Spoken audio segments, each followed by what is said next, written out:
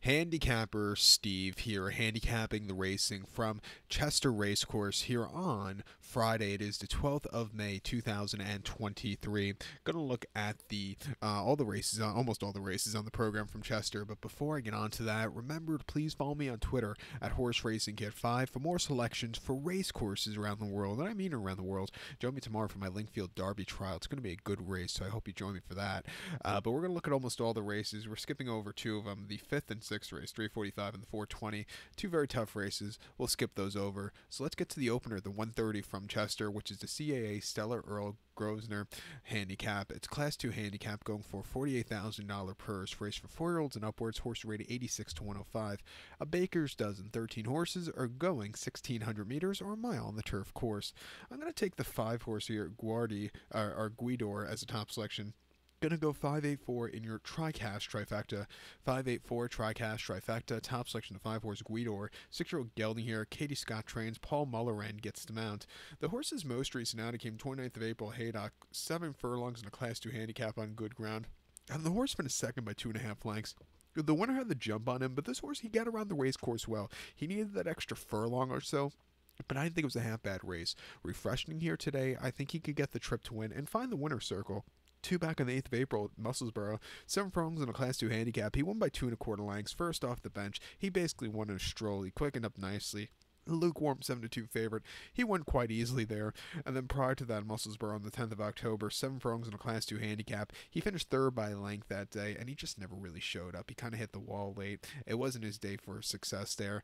Uh, and then before that at Ayr, seven furlongs in a Class 3 handicap. He stepped down class from the previous race, which he should have did better. He didn't. He finished fifth by four and a half lengths that day, and he just had nothing. He won quite nice in the front end a, a week prior to Ayr during the festival in the Class 2 handicap, winning by a neck from a stupidly wide poster. He won on the front end. He has some speed if he wants to use it. That's always killer on this course. Seven to one, I'm going to use him.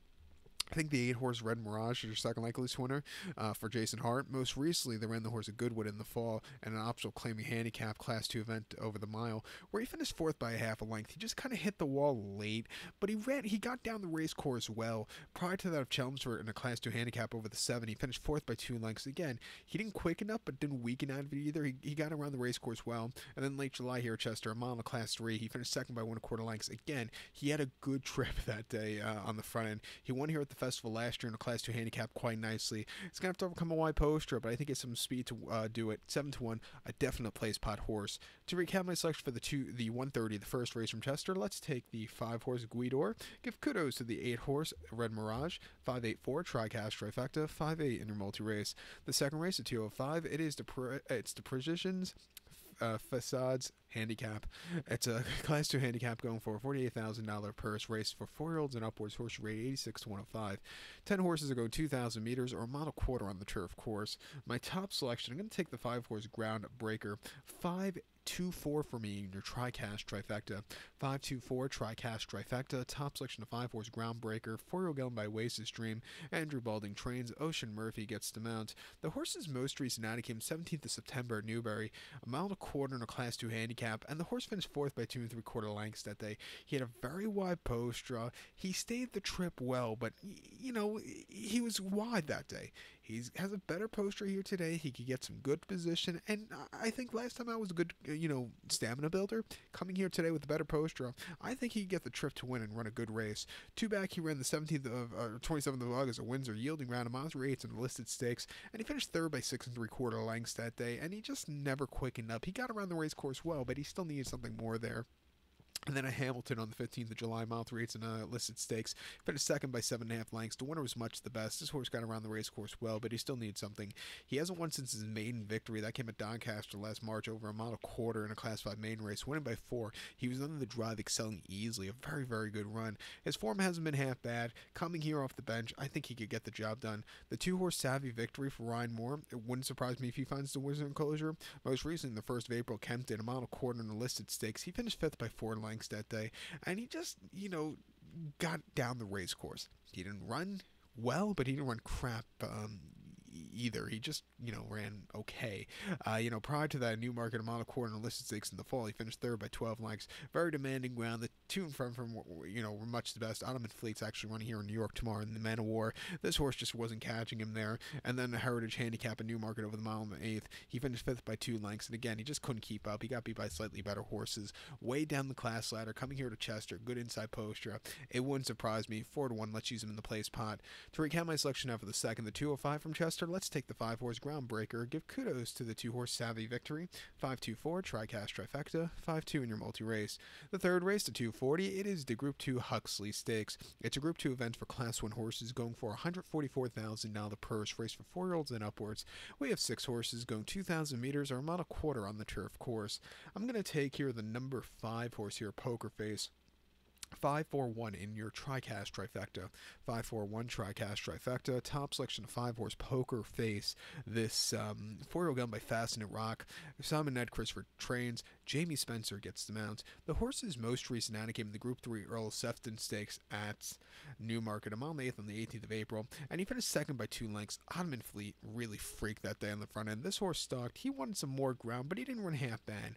Running here today, some forwardly paced, good poster. I think he could get the, the trip to win. Two back in a Class 4 handicap at Pontefract, a mile and a quarter on the 17th of October. He won by eight and a half lengths. He had a high weight, but he destroyed the group of horses, so he quickened up nicely. A very, very good run there. And then prior to that, Newcastle, mile and 30th September in a Class 5 novice race, winning by one and a half lengths. Again, he had the job done on the front, a very, very good victory. He only lost once, but that was behind Ottoman Fleet. He was a decent handicap horse, trying, uh, you know, grade one company here in the States tomorrow. But coming here at 9 to 2, I think he could get the job done. I think the four horse here, Point Lonsdale for Aidan O'Brien and Ryan Moore, wouldn't surprise me if this horse finds the winner's circle. Most recently in mid April at the Curragh, a mile and a quarter in the alleged stakes, he won by one and a half lengths, and as the 1 to 2 favorite, he basically just stalked. He got the easy lead, and he got the job done. A good race from there. Prior to that, he ran last year's 2000 Guineas at Newmarket, where he finished 10th by seven lengths there, and he just completely hit the wall. He just never found form there. His tour form wasn't bad at all. He, he placed in the Vincent O'Brien National Stakes behind Native Trail in the fall of 2021, won the Futurity Stakes at the Curragh, won the Tyro Stakes, and won the um, the big seven furlong tour race at Royal Ascot in the summer of 2021. He has hidden form here. He's come back here going to a mile and a quarter at 8 to 5. Watch out for this horse. This could be a, a good O'Brien horse as the season goes on. Wouldn't surprise you know if he has a good race here today. Wouldn't surprise me if they try some tougher horses next. And uh, you know, do they try the Eclipse if he does well next? You know, do they try the um the Juddmonte International? We'll have to wait and see. But to recap my selection for the third, the 240 from Chester, it's the Group Two I uh, the Group Two Huxley Stakes. Let's take the five horse Poker Face. Give kudos to the four horse Point Lonsdale. Five four one Tricast Trifecta. Five four in your multi race. The fourth race at 315. It is the Chester Cup. It's Class Two Heritage Handicap going for $180,000 purse. Race for four year olds and upwards. We have a field of 17 horses staying the trip of ground of 3,800 meters or two miles and three eighths on the turf course. I'm going to take here the number 10 horse, Zoffee. I'm going to go 10 6 in your forecast exacta. 10-6 forecast exacta, top selection 10 or Zoffee, several going by Zoffany, uh, Hugo Palmer trains, Ben Curtis gets the mount. Horse hasn't been seen since the Cesarewitch at Kempton, at uh, Kempton, Newmarket, a mile, two miles and a quarter on the 8th of October, and he finished fourth by seven and a half lengths that day. He wanted more ground off of that race. You know, he, he should do better with the extra furlong that he's getting here today, but he got down the race course well. He needed that extra turn of foot. He didn't get it. I didn't think he ran half bad refreshing here, good poster, I could sit closer. I think he could stay the trip to, to win. He, he looks like he wants to stay forever. Two back, 17th of August at York, two miles in a Class 2 Heritage Handicap. He finished third by four and a half lengths that day. He was just under the drive. Again, he needed that extra turn of foot. He improved out the race before, but, you know, he still needed something there. And then late July, Goodwood, two and a half miles in a Class 2 Handicap. He finished seven by seven, three quarter lengths that day. Completely hit the wall. It wasn't the day to win. And then the July Cup meeting at Newmarket, mile three quarters in a Class 2 Handicap. He finished third by a head. It was an all out finish. He just missed, but he ran his heart out. Coming to the longer trip again here at Chester, it wouldn't surprise me if he finds the winner's enclosure. It's 7 to 1. Let's use him. Second likeliest winner here, I think, is a six horse calling the win for Jamie Spencer. Most recently at Wolverhampton, 2016th in the Class 2 conditions race in March. He finished fourth by three quarters in length. And again, off the bench, he probably needed the race, but he got around the race course well, staying the trip. And then the last uh, September, two miles and eighth and a, and a handicap. He finished 12th by seven three quarter lengths that day, and I thought they were just a little bit behind the A ball in the fall. He just was never really getting the good staying trip. They ran him the September Stakes before that, where he just never really ran. Uh, a decent third uh, at Sandown List Six uh, Eclipse weekend last year, but you know all those races they they just looked like they were like behind the A ball. He looks like he has a decent form under his belt from last time out. Coming here, he could definitely stay the trip locally at 15 one. I'm going to use him on the ticket. He's your wise guy horse in this race. Uh, but to recount my selection for the 315, the fourth race from Chester, it's the Chester Cup. Let's take the 10 horses off. You give kudos to the six horse calling the wind. 10 6 forecast exacta. Use them both in the placer quad pod. The fifth race and the sixth race, 340 5 and the 420 respectively. We're going to skip over those races. The, the, the fifth race, it wouldn't surprise me if the if the, um, if the Ryan Moore horse wins by a mile, but if he doesn't win, it's going to be some random result here that I can't find. So we're going to skip over that race. We'll watch that as a fan. The 420, it's very tough. Um, uh, apprentice handicap here that you could probably go a million ways, and uh, I've always been burned by this race at Chester, so we're gonna skip over that one so I don't make an idiot of myself. I, I do that uh, great enough by myself. I don't need the apprentice handicap to do that for me. So we'll head over to the nightcap, the 455 now from Chester. It is a Chester Plate handicap. It's a Class Two handicap going for a sixty thousand dollar purse race for four year olds and upwards. Uh, these are for horses that were declared for the Chester Cup but couldn't make it in. We have a field of 17 horses going 3,800 meters or two miles and three eighths on the turf course. My top selection, I'm going to go take the number 15 horse, uh, the predictor. I'm going to go 15 1 in your forecast exacta. 15 1 forecast exacta. Top selection, the 15 horse, the predictor. Four going by Divine Prophet. Richard Fahey trains Oisin or gets the mount.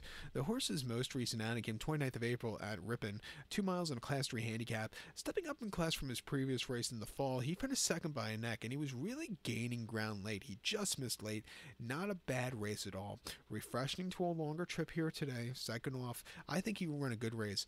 But he's going to have to overcome barrier number 15 of 17, which is very hard to do here. But I think with a longer trip, it shouldn't really matter.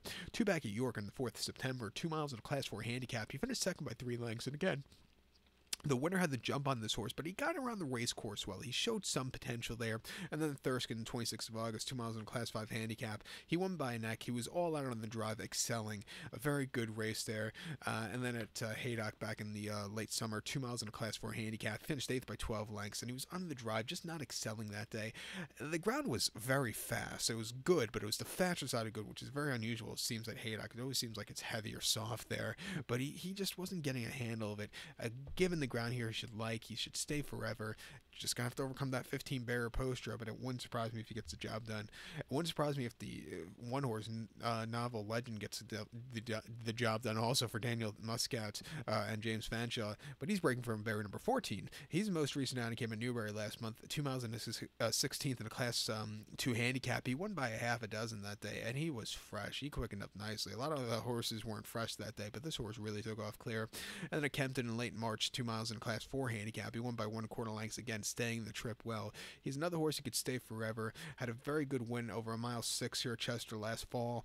I'm going to give him a shot to get the job done, but he's going to have to overcome a high weight and a high post draw. Uh, but three my selection for the nightcap, the seventh race, 455 from Chester. It's the Chester Plate. Let's take the 15 horse to predictor. Give kudos to the one horse novel legend. 15 1 forecast exacta. Use them both exacta combination, exacta box forecast combinations, and in your multi race. So good luck to all. Remember to join me tomorrow for my Lingfield Derby trial and my Belmont Man War preview. Good luck, everybody, and follow me on Twitter at Horse Racing Kid 5